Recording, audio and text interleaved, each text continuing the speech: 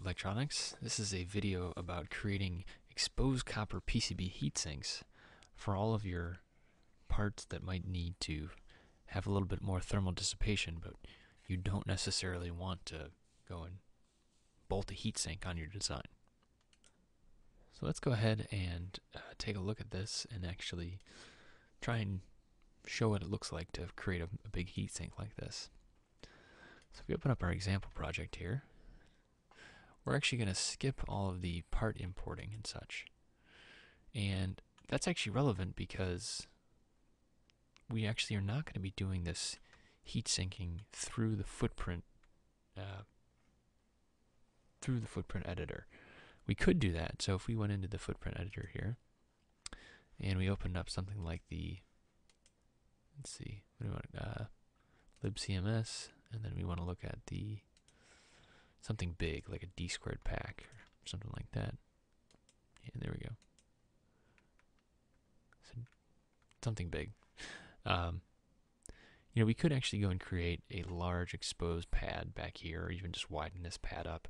We could definitely do that. Um, and I'm t- I was I've always been tempted to do that kind of thing as well because it's just a, a known path. You can, you know, if you go in and edit this part here, this pad rather, you actually have control over the different layers, which ones you want to show, which ones you don't want to show. Um, you can select them here like that. And that's actually really nice. I, I like that a lot.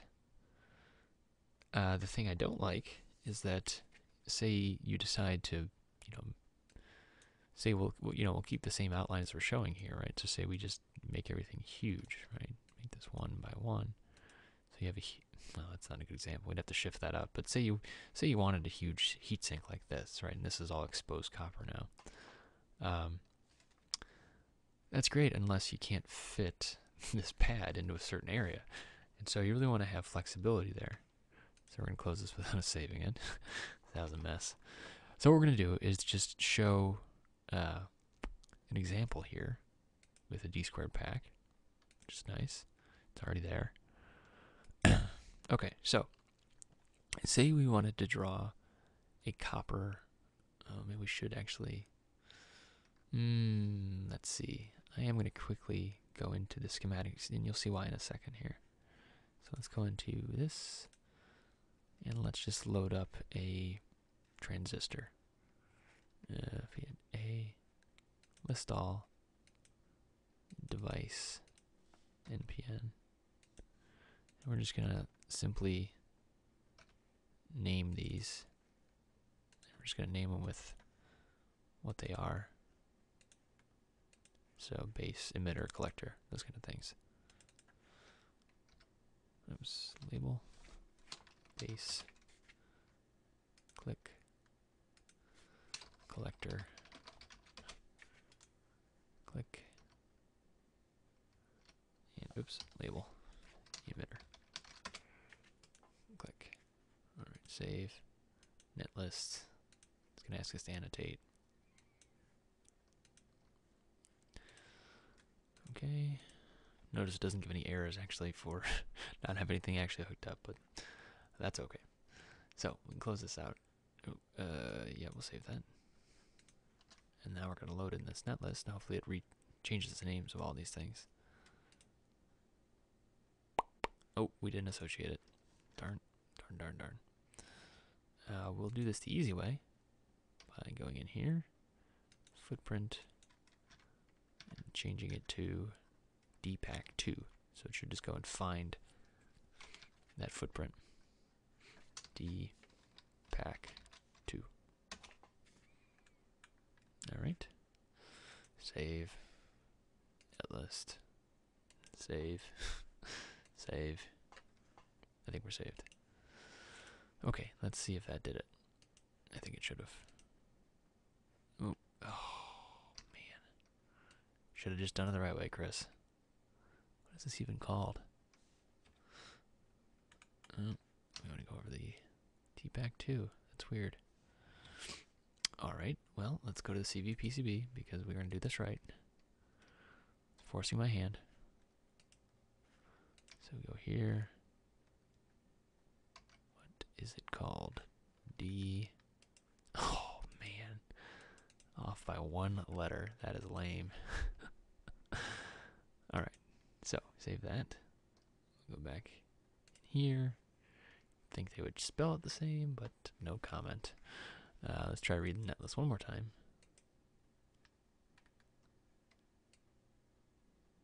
Okay. Oh, and there it is. And of course it did not uh, actually name those. Anywho, we'll be okay. Uh, so we're going to delete the module. Gonna, oh, probably because we need it to actually hook up. Alright, one more time here. So let's just drop in resistors just to make everything hook up together. Uh, A, R, okay. Copy, R,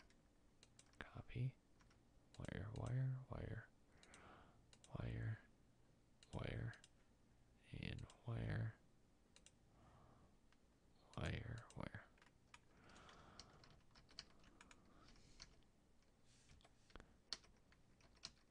Um, just to be safe, we'll label everything here as well the same.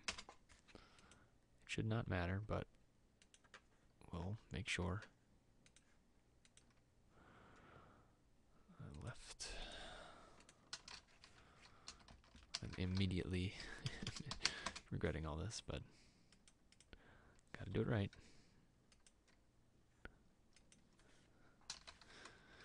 Things we do for heat sinks. Okay. All right, save. It's gonna ask us to annotate once again. Save. Yes. Annotate. Okay, close. Close. Actually don't want to annotate yet because we want to put these as footprints SM0603 edit font footprint SM0603 save netlist netlist netlist yes save. And we're good to go. All right one more time. Now I'm gonna read the net list see if we actually get nets that we want oh look at that okay oops all it took was about five minutes. All right, so say we want to create a big heatsink for the base, um, which actually is not standard, but that's fine. We're just trying to draw a heatsink here. Okay, so we're going to actually draw a zone here. We already have a board outline. So we're going to draw a zone. It's going to ask us what layer we want it to be on. So we're going to say front side copper layer. We're going to say the net that we want it associated with.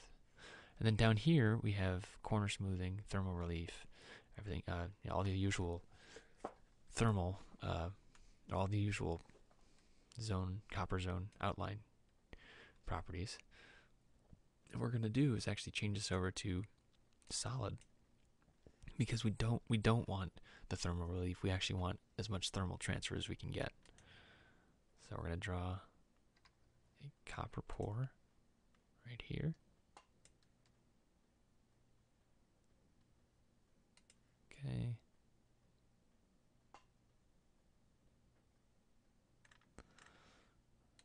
There we go. Alright, so now if we right click, fill or refill, awesome. Now, this is great. Uh, however, the thing that's going to show, if we just left it like this, is we're going to see a big copper area underneath the solder mask. And then we're going to see this area, which is actually relieved because the footprint has solder mask relief right where this pad 2 is. So what we need to do is actually right click. We need to select our working layer. Then we need to switch to the front side mask. Or if you're doing a backside pour, you have to do the backside mask. So front side mask. Okay, now it's going to ask. So if we click, it's going to have a different zone property thing. I'm going to say front side mask. Start drawing here. Okay.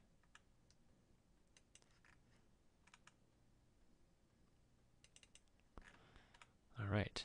If we go over here, we can select to show or not show that pink, and we can even we right or center click, change to something very different. So blue, red, well, red, blue, purple. All right, so that's good. So that means that this, not only will this footprint have, or this uh, pad two of the footprint have exposed copper, which we'll solder to, we'll also have all of this area. It'll have copper, and then it'll have the solder mask removed over top of that copper. We can verify this by hitting plot, plot.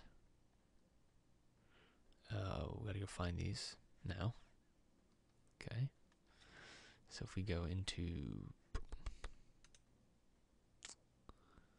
um, KiCad launcher, we have GerbView. Now if we load up these files, we should be able to see the Gerbers we just created. And there we go.